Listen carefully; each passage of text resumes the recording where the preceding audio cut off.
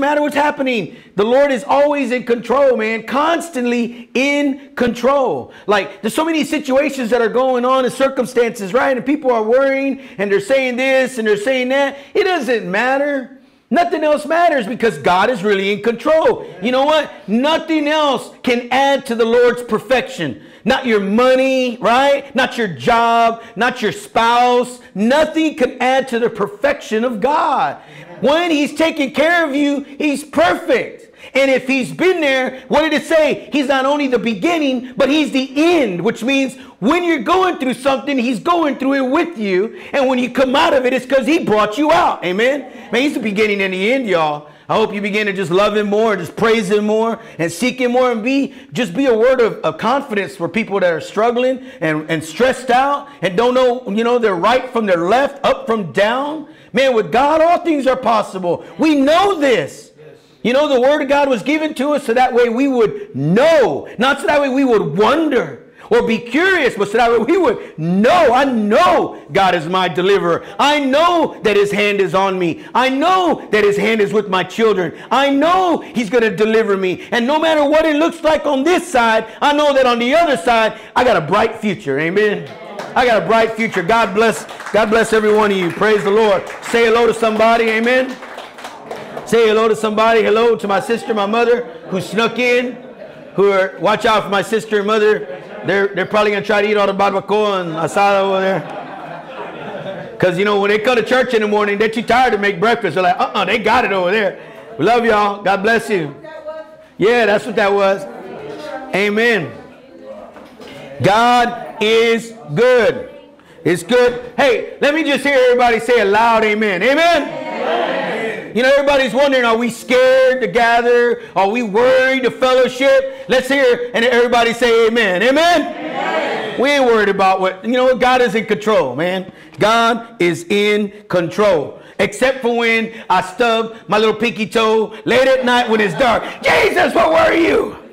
Why didn't you tell me it was there? I thought the Holy Spirit was in me. Are you asleep too? What's going on? Oh my goodness. Holy Spirit's like, what, what, what, what happened? What happened? Chris hit his pinky toe is crying. He wants to know if you're still in control.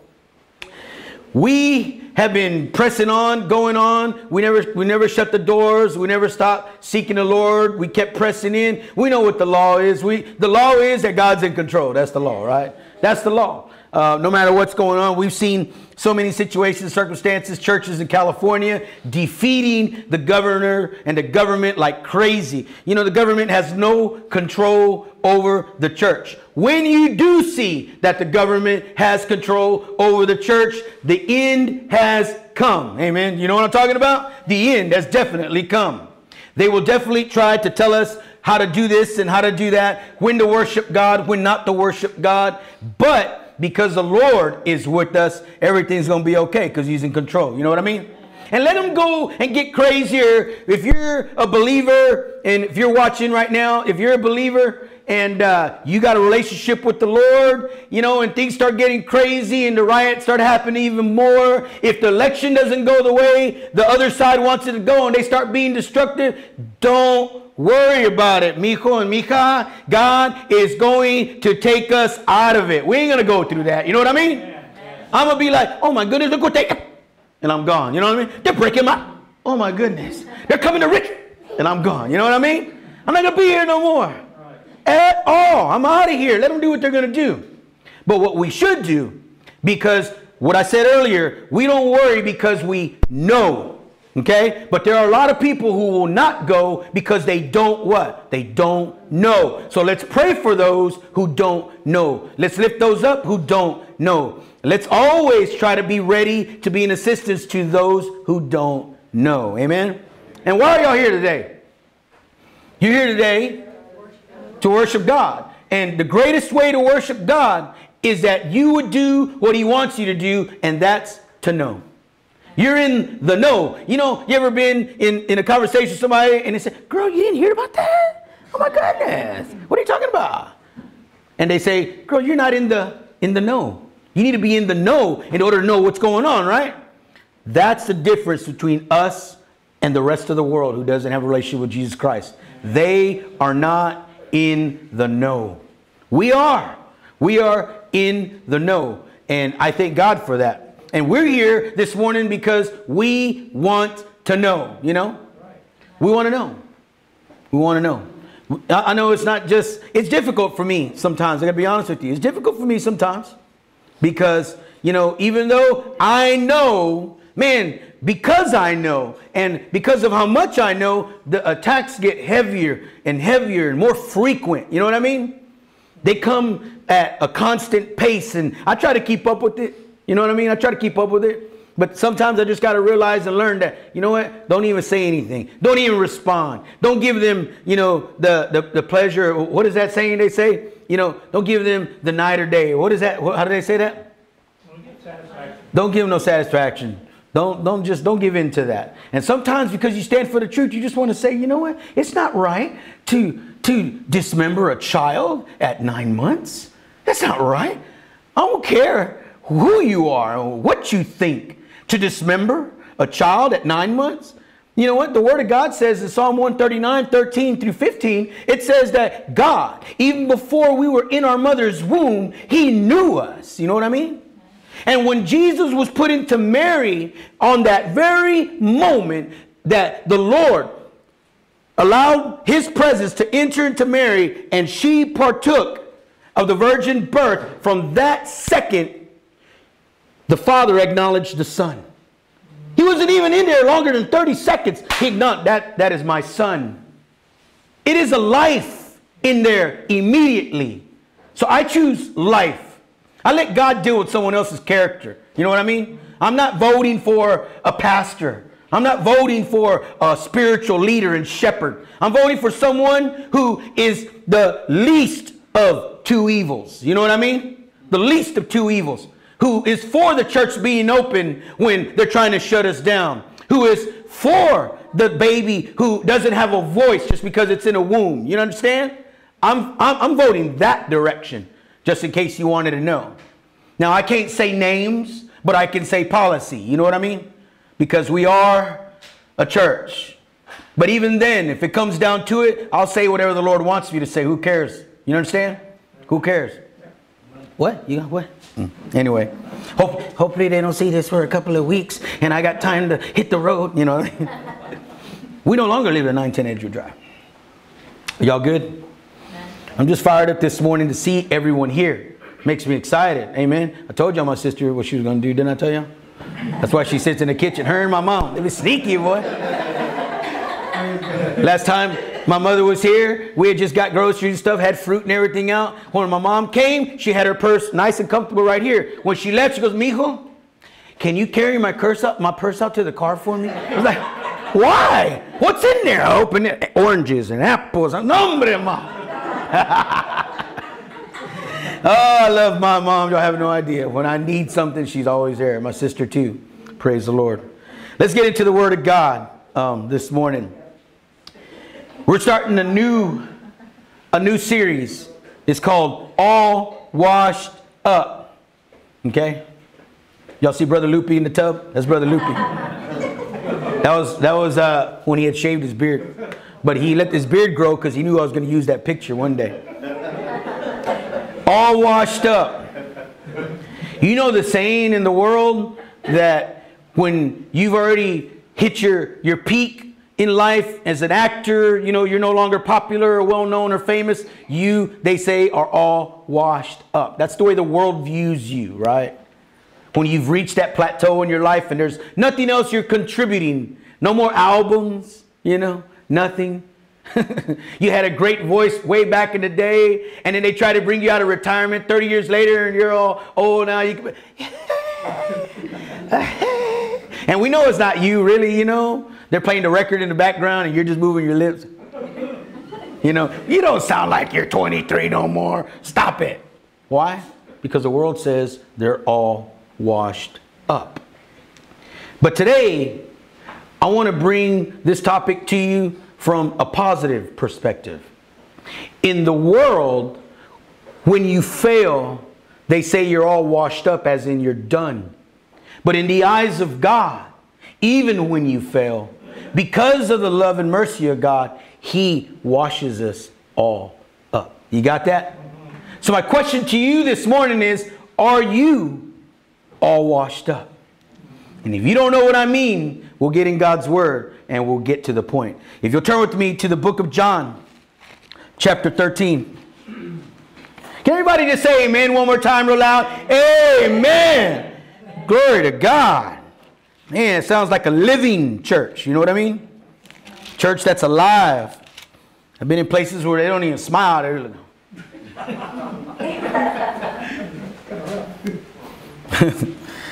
Beginning in verse 1 of John chapter 13. Now, before the feast of the Passover, Jesus, knowing that his hour had come, that he would depart out of this world to the Father, having loved his own who were in the world, he loved them to the end. During supper, the devil, having already put into the heart of Judas Iscariot, the son of Simon, to betray him, Jesus, knowing that the Father had given him all things into his hands, and that he had come from God and was going back to God, he got up from the supper and laid aside his garments, and taking a towel, he girded himself. Then he poured water into the basin and began to wash the disciples' feet and to wipe them with the towel with which he was girded. So he came to Simon Peter and said to him, Lord, do you wash my feet? And Jesus answered and said to him, What I do, you do not realize now, but you will understand hereafter. Verse 8. And Peter said to him, Never shall you wash my feet. And Jesus answered him, Pay close attention here. If I do not wash you, you have no part with me. And Simon Peter said to him, Lord, all right then. Then not only wash my feet, but wash my hands and my head and everything else too. And Jesus, I'm sure he laughed and said, Peter, Peter, calmate. Peter. He says, He who has bathed, say bathed. bathed. He who has bathed needs only to wash his feet, but is already completely clean. Say completely. He is completely clean, and you, Peter, are clean, but not all of you. Verse 12. So when he had washed their feet and taken his garments and reclined at the table again, he said to them, Do you know what I have done to you? You call me teacher and Lord, and you're right, for so I am. If I then, the Lord and the teacher, washed your feet, you also ought to wash one another's feet. Oh, y'all better get ready. I got some water and a towel over here. Y'all be- Who's ready? Who, where the true Christians at? Raise your hand. Where the true Christians at? Woo! The one with the biggest bunion goes first. The one with the biggest bunion. We'll see how big of a Christian you are. Woo! He said, verse 14, If I then, the Lord and the teacher, wash your feet, you also ought to wash one another's feet. Verse 15, For I gave you an example that you also should do as I did to you. Truly, truly, I say to you, a slave is not greater than his master, nor is one who is sent greater than the one who sent him. If you know these things, you are blessed if you don't do them. Is that what he said? No. He said, You, if you know these things, you are blessed if you do them. Amen. Father, bless this word this morning. And may everyone who hears your word, Lord God, be blessed. And may they do according to what they hear, and not just be hearers of your word, but they would be doers of your word. We ask all these things, Lord God, in Jesus' mighty name. Amen, amen, and amen. All right, so the subtitle of today's lesson, it's All Washed Up Part 1, but the subtitle is No Longer Unclean. You, no longer unclean. Turn with me to Matthew chapter 8. Matthew chapter 8, beginning at verse 1. When Jesus came down from the mountain, large crowds followed him. And a leper came to him and bowed down before him and said, Lord, if you are willing, you can make me clean. And in verse 3, Jesus stretched out his hand and touched him, saying, I am willing, be cleansed. And immediately, say immediately, immediately. and immediately his leprosy was cleansed. And Jesus said to him, See that you tell no one. Can you imagine? Can you imagine you bumping into Jesus and you being a leper? And we'll talk about that in a second. But you being an outcast, you can't, if you weren't born a leper, but then later became a leper and you had a wife and children, that meant you couldn't touch your wife and children ever again. And more than likely, you, the only view you'd get from them is from a distance because you weren't allowed to walk amongst the people in the city. You were a leper. Unclean is what you were. And imagine Jesus doing something for you like that, right? I mean, if I woke up in the morning with the zit that big, and I was like, oh no, it's Sunday. I gotta preach today, Jesus. I'd get oil and rub it on my eye. Jesus, make it go away. Oh, make it go. And if it went away, I'd be like, glory to God. Wait till I tell everybody when they get here. Jesus goes, no, no, no, no, no, no. Don't tell nobody what I did. I said, what? Can you imagine the Lord, you're in a car accident and you flipped and rolled, your tires came off, your windshield shattered, and you almost went out the windshield, but nothing major happened to you. And you are in the car praising God, glass all over you, and the Lord whispers, Don't tell nobody you saw me. You understand? Could you really not say nothing? And here's this man who couldn't, couldn't go tell nobody. Jesus says, I don't know you're probably losing your mind right now because you've been a leper all your life. But don't go tell nobody what I did. Are you kidding me? You know what I mean? Imagine that. And it says, immediately the leprosy was cleansed. In verse 4, and Jesus said to him, See that you tell no one, but go and show yourself to the priest and present the offering that Moses commanded. Say, commanded. commanded. As a testimony to them. Leprosy was regarded as a curse. It was, it was one of the worst things you could have externally because it made you an outcast. You know, the way I felt just because I was little and had a big head and nobody picked me on their kickball team or their softball team. Nothing, you know, that feeling, I was an outcast. You know what I'm talking about? But when it came to breakdancing, boy, you better watch it.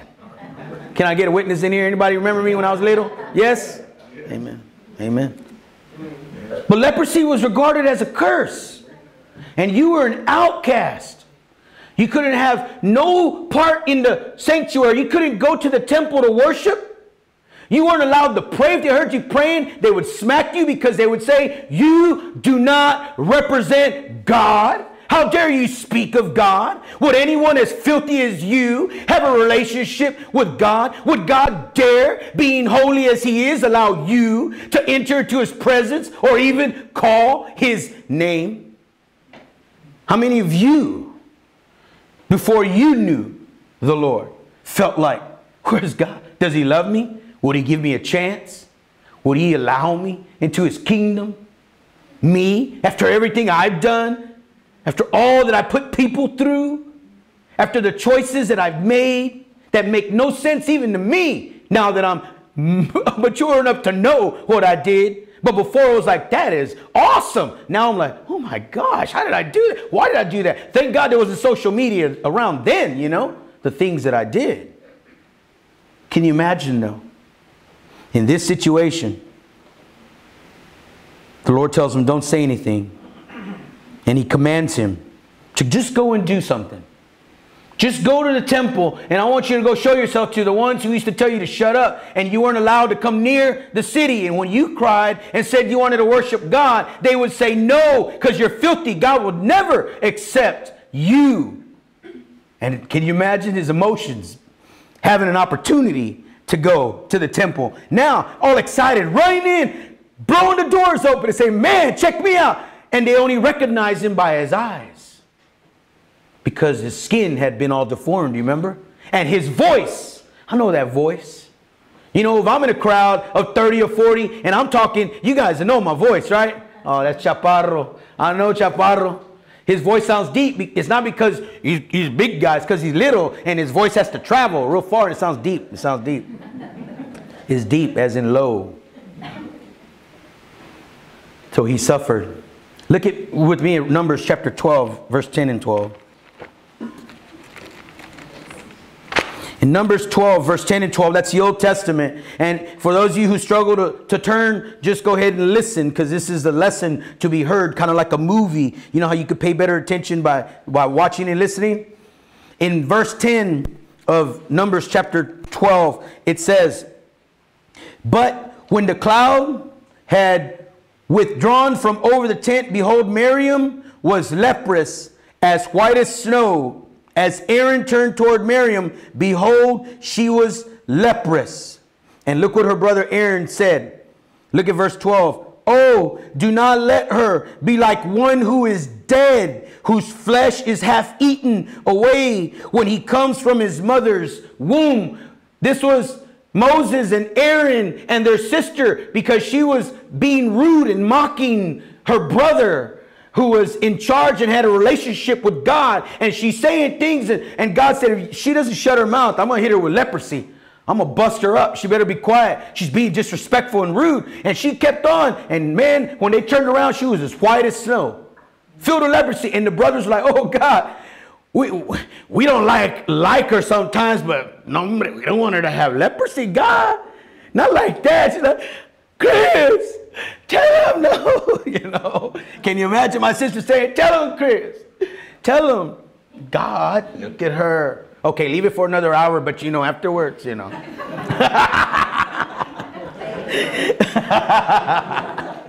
oh, I love my sister. She knows it.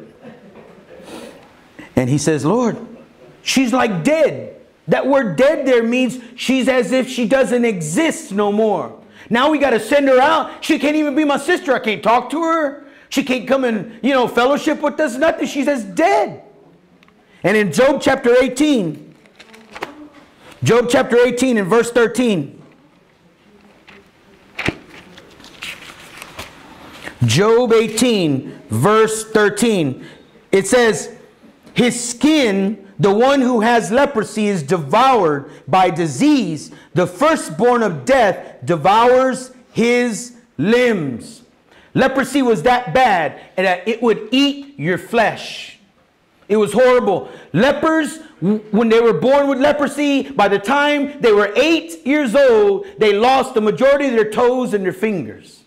And that's why many of the lepers didn't walk around begging no more. They hopped or they limped or they crawled around. Look at 2 Kings chapter 5 verse 7. I'm just trying to paint this picture for you of the seriousness of this disease. In 2 Kings beginning in chapter 5 verse 7 and 14 he says, When the king of Israel read the letter, he tore his clothes and said, Am I God to kill and to make alive, that this man is sending word to me to cure a man of his leprosy. But consider now and see how he is seeking a quarrel against me. This is a man named Naaman who is being treated bad, but he's a general and, and he's very respected by many people. And even though he was a leper, his, his king loved him so much and said, Man, you are a great mind. I don't care what you've got. I want you to work with me. And this king in the Old Testament represents Jesus, the king. Amen. And this leper here, Naaman, represents me and you. Amen. Shouldn't be allowed to do anything, shouldn't be allowed in the city, but he was allowed to even have a position as general. Keep that in mind. Go back to Matthew chapter 8. Matthew chapter 8. Are y'all with me still this morning? In verse 2, it says, And a leper came to him and bowed down before him and said, Lord, if you are willing, you can make me clean. Think of this question. Why do you think the leper came to Jesus to ask him if he was willing? Could he make him clean? More than likely, but what is the main reason? I'll, look, I'll show you in Matthew chapter 4, right down the road, go backwards, in verse 24. It says, The news about Jesus spread throughout all of Syria. And it says, And they brought to him all who were ill, those suffering with various diseases and pains, demoniacs. It says, epileptic, uh, what does it say?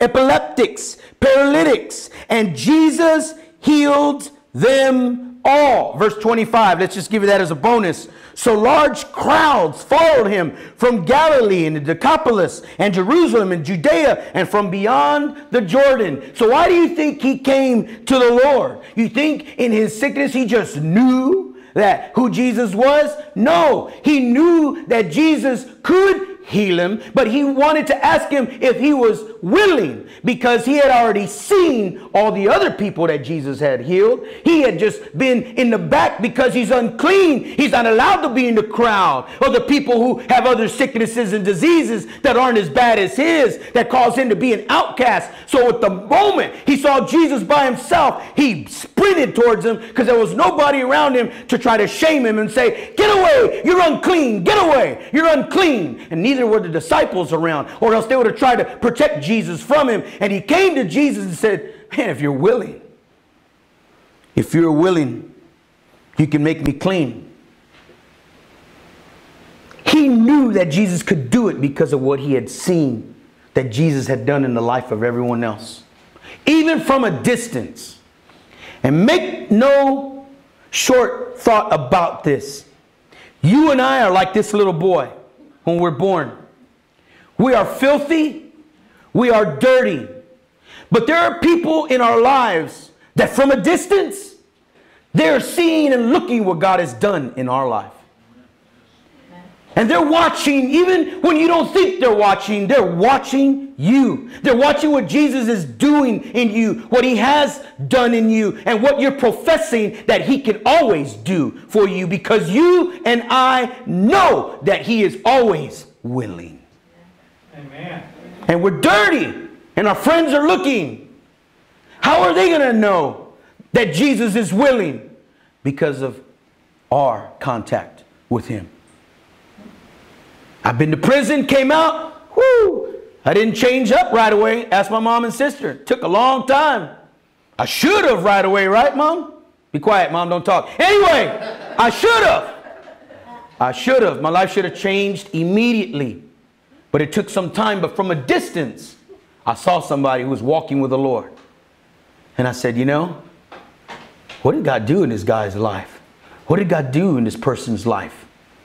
So I came to the Lord one night when I felt like he was alone and would listen to me. He was quiet.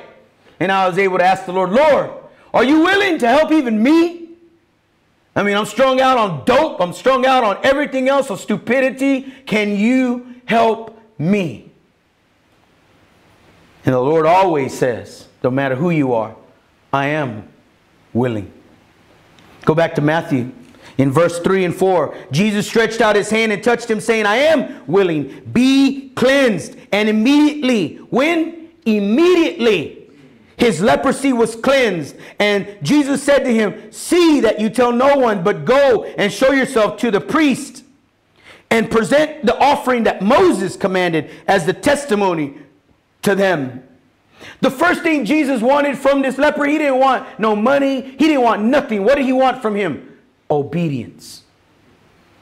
He wanted him to do exactly what Jesus said. Don't go tell nobody. Number one, listen to what I just said. Don't go tell nobody. Number two, now go and show yourself to the priest and do everything they tell you to do that Moses said needed to be done for people who had leprosy. Go do it.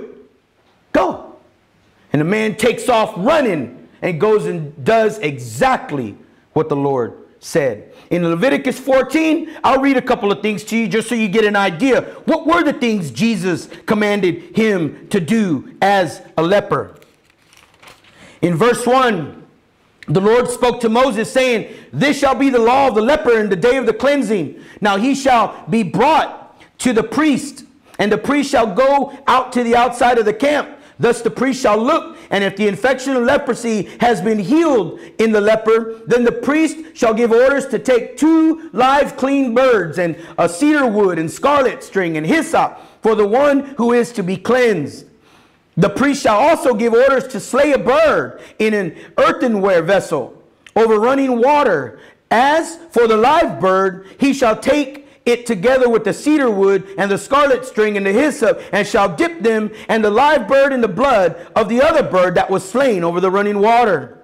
Then shall then shall uh, he shall then sprinkle seven times the one who is to be cleansed from the leprosy and shall pronounce him clean and shall let the live bird go free over the open field. You see all these things? Like he, he was, if you're truly cleansed, you still had to wait outside and send somebody in. Chicho! Paco! Hey! Beto! Come here. Is that you, Felipe? Felipe! What happened to you? Hey, go call the priest for me, eh? Go tell him I need to talk to him. And the priest, like he couldn't go in yet right?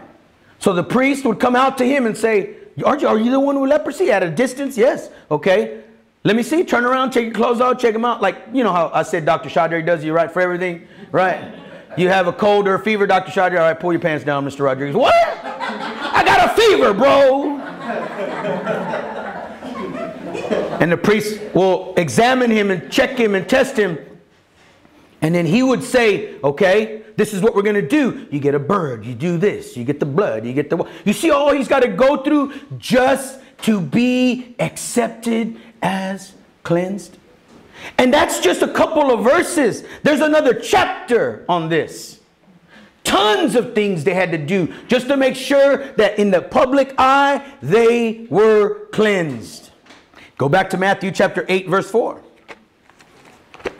Matthew chapter 8, verse 4. This is good stuff because it allows us to see the nature of our relationship with God and even more so, his relationship to us. In verse 4, it says, And Jesus said to him, See that you tell no one, but go and show yourself to the priest and present the offering that Moses commanded as a testimony to them. Right? So, as a testimony to the priest that you really are cleansed by God to prove them right, that God has cleansed you, do everything they tell you to do that Moses commanded. You got it? Go and do that. So that guy was excited. He didn't care. All you want to do is get back in and go to the temple and worship God. He was going to be so excited he'd get a job. He'll pay more taxes because he's a free man now. You know, the way you were when the Lord forgave you, you felt like people you did wrong. You just, next time you saw him, you just want to say, hey, listen, you remember in the third grade when I tripped you on the playground? You know, you got born again, you're 40 years old. I'm so sorry telling her. She's like, girl, that was in the third grade. Are you crazy? You done lost your mind. I was like that.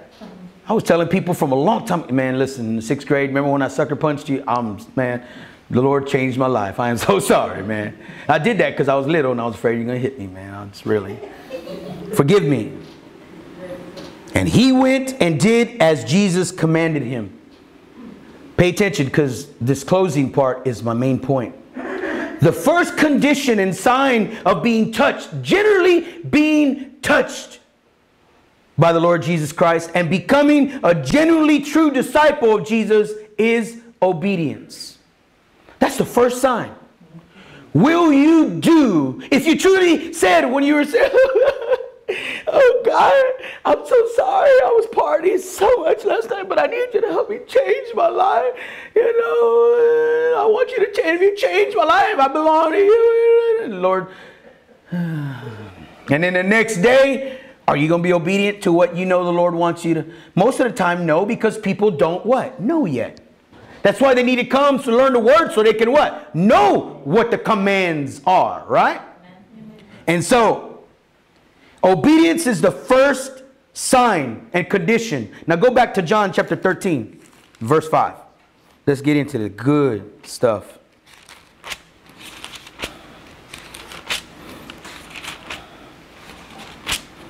John chapter 13 at verse 5 again.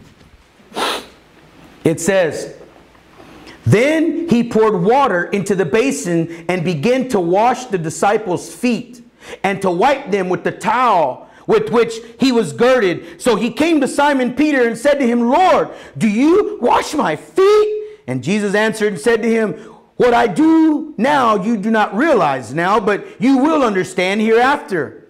And Peter said to him, Never shall you wash my feet. And Jesus answered, Peter, if I don't wash you, you have no part with me. Simon Peter said to him, Lord, then wash uh, not only my feet, but also my hands and my head. And he went on and on. In verse 10, and Jesus said to him, He who has bathed, say bathed, needs only, say only, to wash his feet. Why? Because he is completely clean. And Jesus looks up at Peter in the eyes and says, Peter, you're clean. But not all of you. Judas was there, wasn't he? Judas was about to betray him, it said. And Jesus knew that. And Jesus tells the other 11 disciples, Y'all are clean, but not all of you. And they're all looking around like, Oh my goodness, which one? Which one of us? Is it you? Is it you? What did you do, bro? What did you do? If it's you, I don't want to stand next to you. You're like a leper. You know what I mean? Because Jesus is going to strike. Something's going down. Which one? And Jesus says in verse 11, For Jesus knew the one who was betraying him. For this reason, he said, Not all of you are clean. He didn't say that, and it doesn't say that the reason he said that, you know, not all of you are. He didn't say that because he was talking about the disciples that they were going to make mistakes as humans. No, he said that there was someone there who was never going to be obedient, who was never going to love him, never going to be with him. And even knowing that Peter was going to deny him three times, and all the disciples, when they arrested Jesus, were going to run like crazy because they didn't want to die either. He knew that they were going to run off for a little while, like many of us do because we're not perfect, right? You backslide, you make mistakes because you're not perfect. But the Lord knew that you you are clean. You're completely clean. But the problem is you don't remember that even though you're completely clean, there are times in your life you must still wash your feet. And Judas would never have another opportunity to wash his feet. So when Jesus washed his feet, it wasn't because Jesus was making him clean. Jesus was washing his feet in the attempt, even at Peter and Judas's last hour to be able to have a decision to say, I refuse to allow the devil to make me turn Jesus in. So Jesus washed his feet too. And looking Judas straight in the eyes, giving him an opportunity to say, Lord, forgive me for what I'm about to do right now. Oh my God. He could have thrown up and been sick in his stomach, knowing what he was going to do. He could have repented. But even before he was born, the Bible teaches us in the Old Testament that Judas was going to be born and he was never going to want to come to God. Let me just make it known to everybody who's going to watch this in the future. God already knows if you really want him or if you don't. That's why when it seems like you're walking away, why does it always seem that people who walk away from God, it looks like they never come back? Because they're not completely clean. But it always seems when you struggle in your life that all of a sudden you make a comeback or a rebound, even stronger. You know what I mean? That's my mom. She'll tell you, see, now's a good opportunity. I'll let you talk. You can tell everybody the good news. But don't tell them the bad stuff, mom. She's seen me down and she's seen me up. If there's anyone else who's seen me down and up, is my wife. Even more so than my mom has. Okay? And Jesus told the other 11 disciples, Y'all are completely clean but not all of you. When God says you're not completely clean, you're not completely clean. But when God says you're completely clean, you, you, that's like the leper who got healed. Man, that's overwhelming. He's telling you that you never have to worry again. I got you from now until I come back. You understand what I'm saying? Because you will never betray me. You'll make your mistakes, but in your heart, you know you love me. But you're in a, a, human body, you're in the flesh, and you're gonna be weak at times. But because you know me, you will come out of that. I'm praying for you to come out of that in the name of Jesus. Amen. Amen. amazing what's going on here. In 6 and 10, what we just read right now, imagine. Jesus says, notice that Peter is completely, he didn't say, you're partly clean. And after I go, you're going to get clean again. This is the process. Jesus didn't say, you're clean. And now go and show yourself to somebody. And every now and then on the third or the or the 15th of the month, you need to go do this, go do that. Jesus said, You are clean. But let's go look at something. Jesus tells Peter that because he is already completely clean, all Peter has to do is what? Wash his feet. Isn't that what he said in 1310? All you got to do is wash your feet. Here's the point. For those who don't believe that once saved, always saved, I'll tell you this right now. If you truly are saved, you're truly saved. Because you will be obedient to God. You will love the things of God. You won't do it perfectly because you can't even be a perfect husband or a perfect child or a perfect wife. No one's perfect. But if you are completely clean, it's because when a person believes in Jesus as his Savior, God removes the guilt of your sin from you, from your past, your present, and your future. Your guilt won't be so heavy that it leads you to do what Judas did. When Judas turned Jesus in, he felt so guilty after the fact. They gave him the money. And what did he go do? He went to hang himself. But Peter, when Peter denied Jesus three times, he felt horrible and guilty. But shortly after, he came back, didn't he?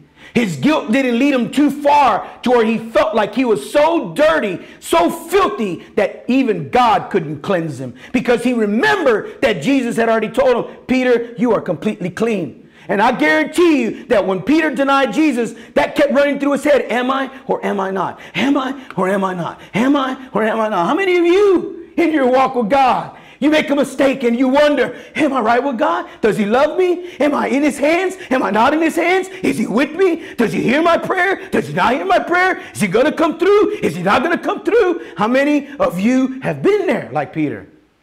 But because you know God, you know that everything is going to be all right in the end. Amen? Amen? And you go about your business like Peter did. Just go about your business. He went back to fishing, went back to doing what he was doing, and playing in his mind all day, every day. I guarantee you, he was thinking, I know he told me I'm completely clean. I'm trying to figure it out. What does that mean? I'm completely clean. Because in the Jewish custom, to be completely clean was to be accepted by God. And he knew that because for a leper to be completely clean meant that he was accepted by God. But because we're not, we're not Jews, we're Americans who know the Word of God, so we don't understand when it says completely clean. That's why Americans who say, oh, you could lose your salvation, they don't know what completely clean means. It means completely, forever, utterly, without a shadow of doubt. Nothing can separate you from the love of God. Nothing. Thank you, Jesus. Thank you, Jesus. They don't know that. Mm-hmm. But I'm preaching today because I want you to know what I know. In Romans chapter 5, verse 1. Hmm, God. It's harder for you to know if God is going to come through when you don't know that God has already come through and how much He's come through. If you're not sure if you're His or not His, if you're always, you know, one leg and then the other leg, He loves me, He loves me not. Oh my goodness, He loves me, He loves me not. Oh my God, He loves me, He loves me not. You understand?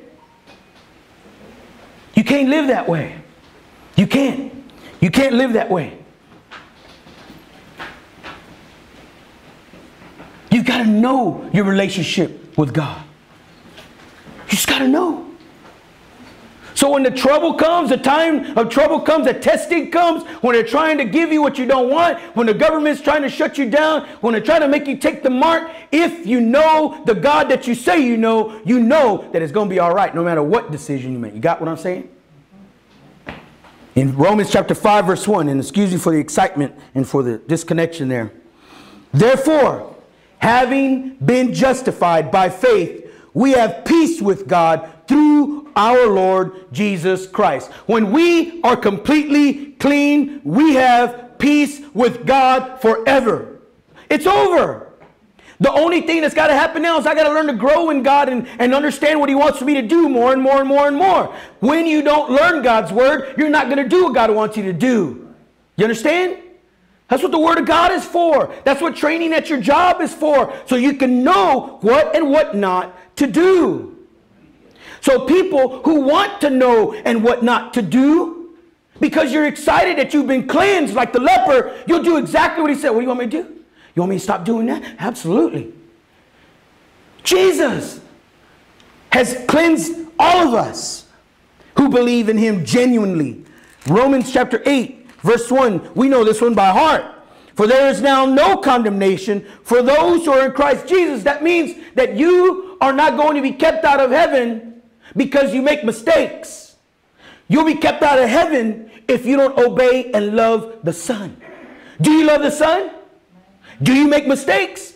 Then it's going to be all right in the end because you don't get yourself there. He carries you through. Amen. He's going to carry you through all the way. But you got to know that He is. Because if you don't know that he is, you lose confidence, you lose power, you lose strength, you lose that forward motion of God's calling on your life and a purpose. And you're always thinking, well, only Pastor Chris can, you know, has a testimony. And no, you do too. You've been dirty just like I'm dirty. We all were born dirty. None of us is perfect and better than the other person. We all have our issues that God has cleansed us from. This is what Jesus meant by completely clean or completely bathed, like he told Peter. Needed to wash the feet only is when a saved person sins, which hinders our fellowship with God. The truth of the matter is, is that when you do fall short of your relationship with God and you make the, the mistakes by sinning and doing what displeases God, you never get kicked out of God's presence, but you do have an issue between you and God, and you know it just doesn't feel right. Something's not right. Well, you know what you're doing. God is not happy and pleased with it. Right? And you'll feel it if you truly have the Holy Ghost. You'll feel it. But because you're completely clean, all you got to do is wash your feet. Don't question if you're completely clean. If you're feeling guilty for what you did, then you're different than everybody else in the world who doesn't got a relationship with God. Because they could care less if God sees them doing what they're doing every day and every night, all day during the week and on the weekends. They can care less. It's hard for me. It's impossible for me to walk into a sports bar and order, even if I'm in another country, and say, you know what? Uh, let me have a whole bottle of tequila. Nobody looking, right? Nobody got me live on Facebook. Let me have a whole bottle, bro. It's hard. Why? Because God is in me.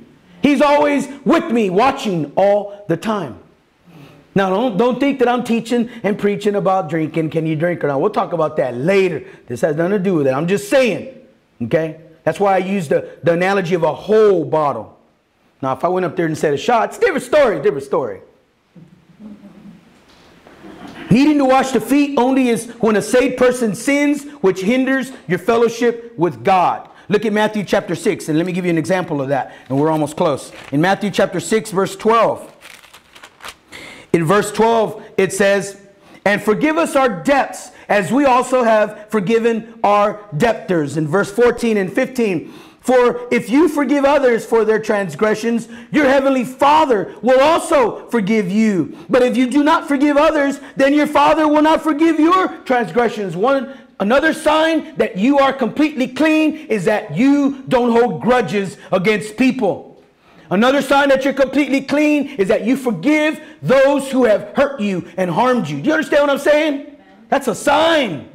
Because it said here, if you don't forgive others, God will not forgive you. And so you, the reason, if your mind is thinking that close to God, so the reason you always forgive people is not because it's the right thing to do, but it's because God commanded you. Like he told the leper, go and tell the priest and go do everything Moses said to do. You got it? You obey him. We must wash only our feet, which become dirty while walking in this present imperfect world and life. Look at First John chapter 1. Amen. First John chapter 1 verse 9. If we confess our sins, he, that's God, is faithful and righteous to forgive us our sins and to cleanse us from all unrighteousness. How often will he do it? As often as you need it. He said, huh, the disciples asked him, how, how many times do we forgive? How many times do we forgive those who have harmed us or sinned against us? And Jesus said, 70 times 7, man. What does that mean? That means as many times as you have to. How often is that? All the time. And because that should tell you, if you understand salvation, that should tell you if Jesus, who's the greatest preacher, you know what we tell preachers, right? They tell me that all the time. Uh, you're a little bold and arrogant as a preacher. You, what are you arguing with me about abortion therapy for? You shouldn't be talking politics. You know what? I'm talking real life and reality. I'm talking politics with you, right? If you know salvation, if Jesus is the greatest preacher, he, like they tell me, preacher, practice what you preach. Who's going to practice what they preach more than Jesus? So Jesus tells me to forgive everyone over and over and over as many times as they sin against me. Guess what he's going to do for me? He's going to practice what he preaches. But you don't know that unless you know that. You know how many people don't know that? Jesus practices what he preaches. If he tells you to love your enemies, guess what? When you're not acting right, he still loves you. Man, that's unbelievable. Hang in there with me. In 1 John chapter 2, verse 24. As for you, let that abide in you which you heard from the beginning. If what you heard from the beginning abides in you, you also will abide in the Son and in the Father. Do you see that? What did you hear? The truth. The truth about what? that if you come to the Father and ask for forgiveness, He will cleanse you, right? When will He cleanse you? Every time you come. What is He going to do? He doesn't have to totally give you a bath. Jesus was the example. All He has to do is wash your what? Feet. First John chapter 5. Look at verse 13. In verse 13 it says, These things I have written to you who believe in the name of the Son of God, so that you may know. Say no. no. So that you may know that you have eternal life. The reason people feel defeated and feel like you can lose your salvation, if you feel that, that worried about what you've done, it's because you are saved. If you don't feel worried about what you're doing, it's because you're not.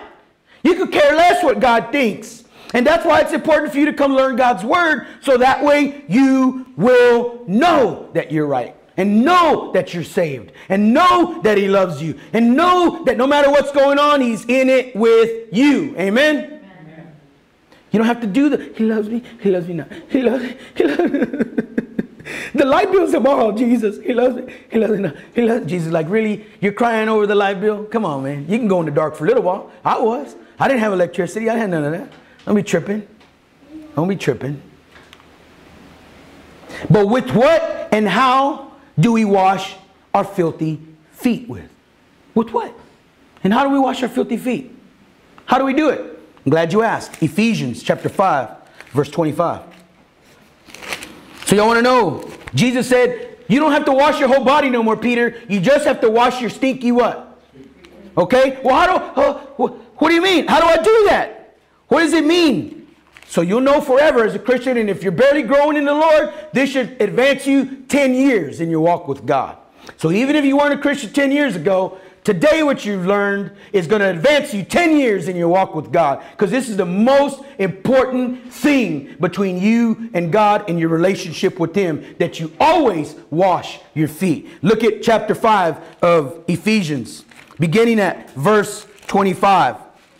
In verse 25, here's what it says Husbands, love your wives, just as Jesus Christ also loved the church, and he gave himself up for her. Why? Verse 26 so that he might sanctify her, that Jesus might sanctify her or separate us from who? The church. How? Having cleansed her by the washing of water with the word of God.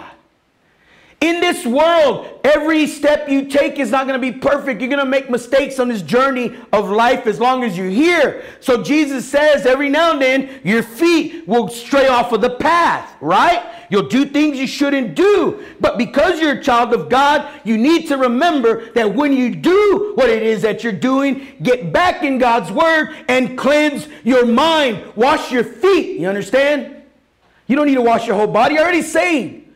So cleanse your feet wash your feet. Get that what you were thinking over here is okay and it's not. Come straighten it out by looking in God's word and it tells you you shouldn't have done that. You're getting off track. You know what I mean? You're going off the path. You got to always wash your feet continuously. No, this isn't Health 101. This isn't a hygiene class. This is a spiritual lesson. So, my question to you today, as your pastor, is this Are your feet stinky? Do you have filthy stank feet? Don't be looking at your husband's wives. Because some of y'all have that extra long toenail that you don't ever clip either. that you never have enough shoe polish, or not shoe polish, toenail polish to paint because it's so long. It's that one that curls under the little toe. You know what I'm talking about? Anyway. Do you have filthy, stank feet? If you do, then get into and stay in the Word of God that you may be and stay clean. How often? Daily. Psalm chapter 1 in closing. Psalm chapter 1. In Psalm chapter 1, this is how often you must clean your feet. Psalm chapter 1, verse 1 through 3. How blessed is a man or woman who does not walk in the counsel of the wicked, nor stand in the path of the sinners. Like, you don't do what the world does, nor sit in the seat of scoffers who make fun of God, and as if God's not looking. But his delight is in the law of the Lord, and in his law, his word, he meditates how often? Day and night. And he will be like a tree firmly planted by streams of water, which yields its fruit in season and out of season, and its leaf does not wither, and in whatever he or she does, he will prosper. Why? Because God is with you in the beginning, he's going to be with you in the what? In the end. You got it? Only if you're in the Word, though, will you remember that and know that. That's why when you get overwhelmed by what's going on, it's because you're not in the Word. To remind yourself that it's okay, God is with you. You got that? So the cursed leper, like sinful humanity, has no options for hope until he or she meets Jesus, the Christ. Jesus is the only one that can heal us. So if you're a true Christian, then you were granted permission by God to come to the Son Jesus. You believed in the Son of God, Jesus, and repented of your sins in your old life. Upon believing in Jesus, the Son of God, He forgave you of some of your sin. No, of all of your sin. And after Jesus forgave you of all your sin, he caused you to be born again. You didn't become born again on your own. And now Jesus has said that you are clean. Amen. So guess what? Turn to your neighbor and tell him you're clean. Mm-hmm. You're clean. Now let me smell your feet. God. You are clean. If you're struggling in your life, in your marriage, in your personal situations, guess what? You're already completely clean. But what you need to do now is just continuously wash your feet.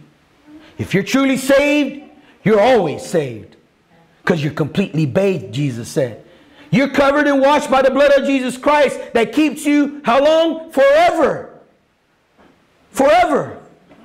But you must stay on his path. And the way you stay on path is by doing what? By staying in his word. His word is the water that you use to wash your stinky, stank foot or feet, whoever you are. Amen? Or feetses or footsies. Okay? Y'all good? You sure? Back to Brother Loopy. So guess what? Well, we lost connection. Anyway, you are all washed up. Okay? All y'all are all washed up. It doesn't matter. You're all washed up. If God says you're all washed up, you're all washed up. Stop doubting it. Stop worrying about it. You are completely clean. You love Jesus Christ, all of you? Amen. Right? Amen? Can you say amen? amen? Right? And you know he's cleansed you, right? Amen. Then just wash your feet.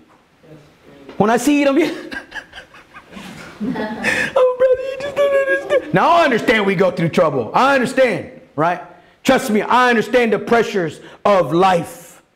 I'm a Hispanic man that wakes up in a house with an Anglo wife with no tortillas on a weekend. I know the pressures and stress of life. All right?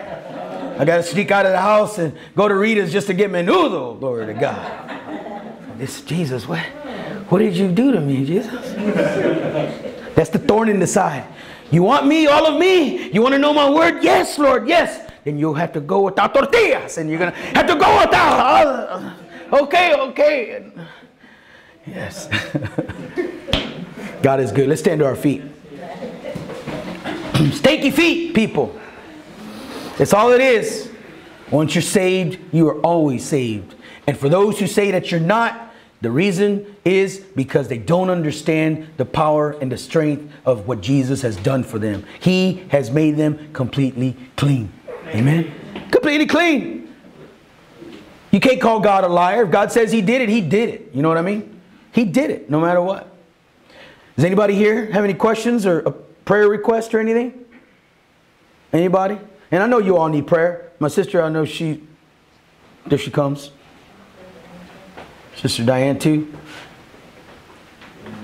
Brother Juan. Yeah. What's up? I applied for another job, so I mean, I just in my heart stirred just to move on to another job. The job I have is good, but it's just something that I might be better at. It's taxing. Mm-hmm. Well, your wife just looked at you and said, "But wait until you get that other one, mijo. Wait till you because we got some. Let me tell you, I gotta pay this. I got." Mm-hmm. Got a lot, you know, got laid off. Been this, a lot of calls, you know, good calls, but just hope that one of them comes through. Keep washing your stinky feet, and God will let you walk in the job that He has ready for you with clean feet. Amen. Amen. God will lead and guide your path. Yes, ma'am. Me, I'm going to have a CT scan of the whole body to make sure that the whole cancer is gone. This is from the new doctor to move forward. But I believe and I'm healed, so I have no worries, and God is in control. Amen. That's why I played that song. I needed you to know that He is in control. Amen. Amen. Y'all keep praying for my Uncle Raymond Navarro. He's uh, going through some uh, issues, but most of all, pray for his complete cleansing. Amen. Okay? I was going to say, when you're, when you're playing that song, and I just, my mind, just reflecting on the many people that believe they can get sick from coronavirus. But when, when you're playing that song, I was just mentioning, man, God's been in control the whole time. So yeah. there's no reason to live in fear. No reason to live in fear. you know what we worry about the most? That if something happens to us, we go the human nature. Who's gonna? What about my kids and my wife and stuff? Well, I thought God was still alive. You know what I mean? That's you, you want to know the main reason it's important to have a, a, home church and, and, and brothers and sisters in Christ? So that way if something like that does happen, you are there. If something happens to me, y'all are there for my wife and kids. You understand what I'm saying? If something happens to your husbands, ladies, the, what does the Bible say? Take care of the widows. We're here for you. You know, between all of us, you know, picking up 20 bucks everybody, Count that with 100 people in the church. You're blessed. You're taken care of. That's the point. The, the, government was not created to take care of the church. The church was created to take care of the church. Amen? Amen. That's what we're all about. I'll be riding around in no Mercedes Benz. Maybe a Lexus, but man, anyway, anyway, you know what I mean? So let's lift all of them up in prayer, in a general prayer, knowing specifically. Yes. And remember the young man Julian, okay? that got shot. Okay? Remember him and lift him up in prayer too. So we have Julian, we have brother her brother Santana Dominguez.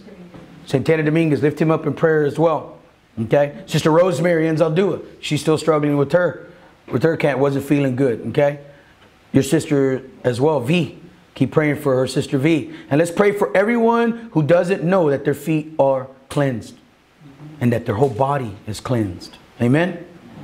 So, general prayer, but remember to pray for them when you leave here. Father, we pray to you knowing that you are in control, knowing that you are the only one who can make a way where there is no way.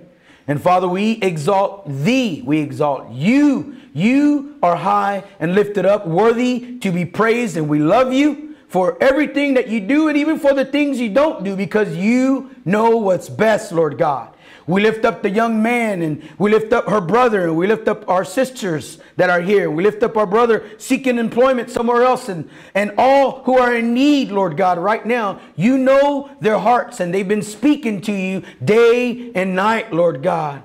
But we have sang the song, day and night, night and day, let faith arise. Amen.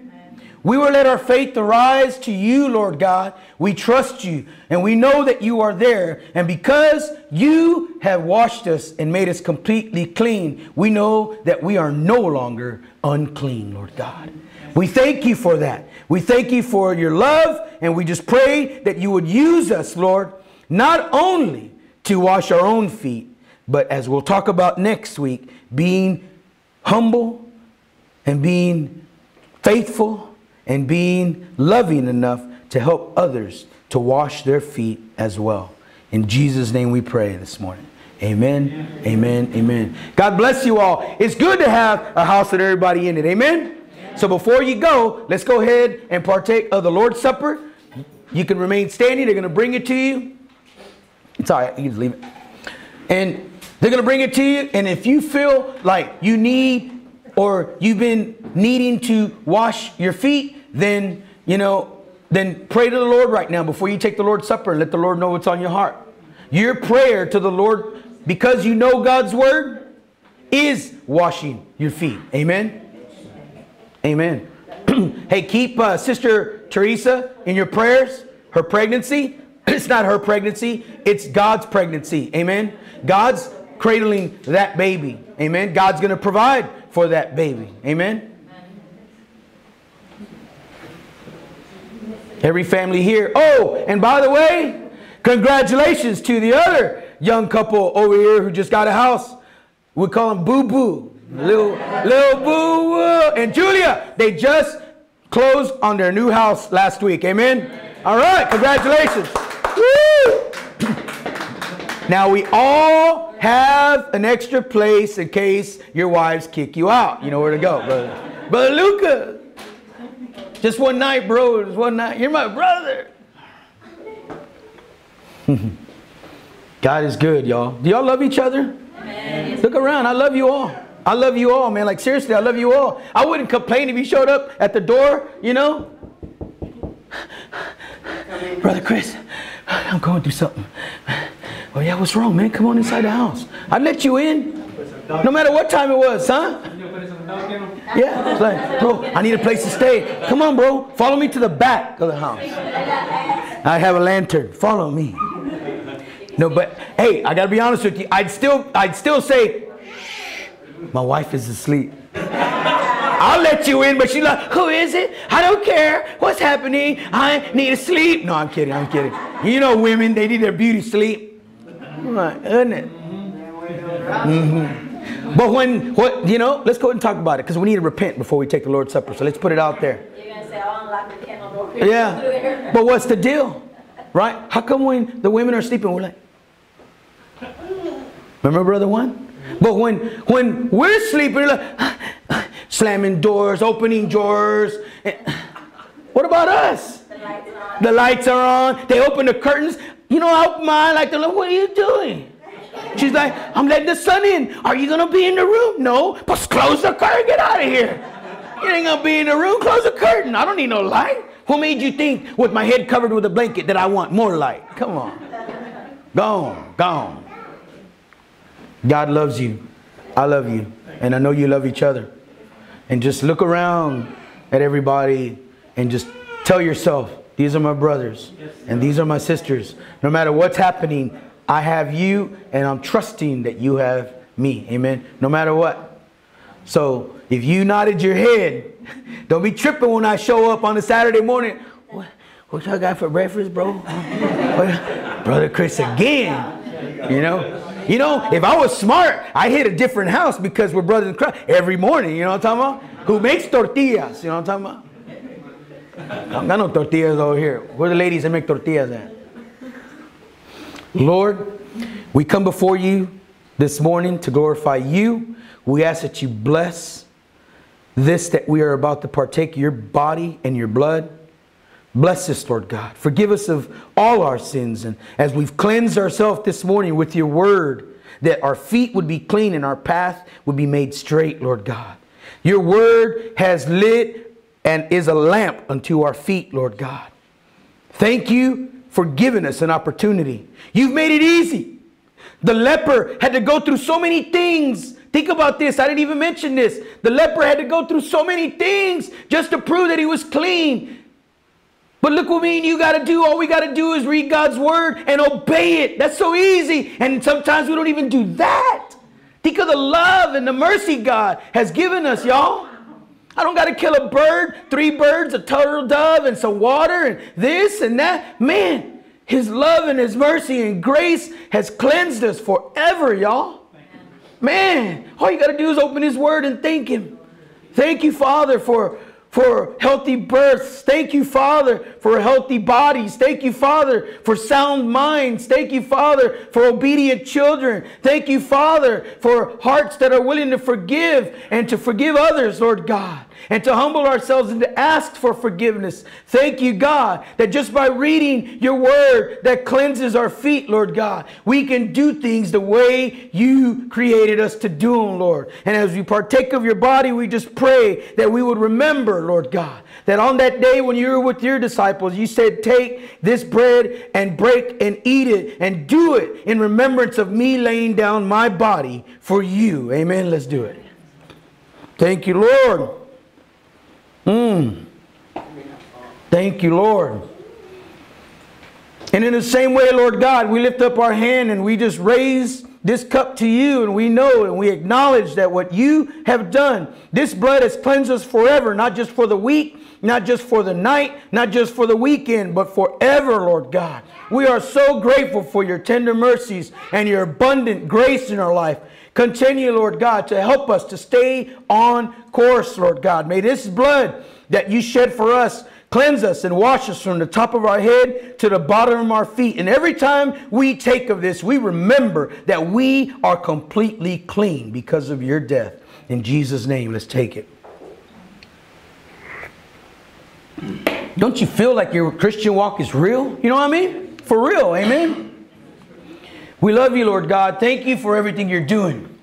I pray that you would just ask God to continue to remind you to come to Him. Amen. We love you, Sister Teresa.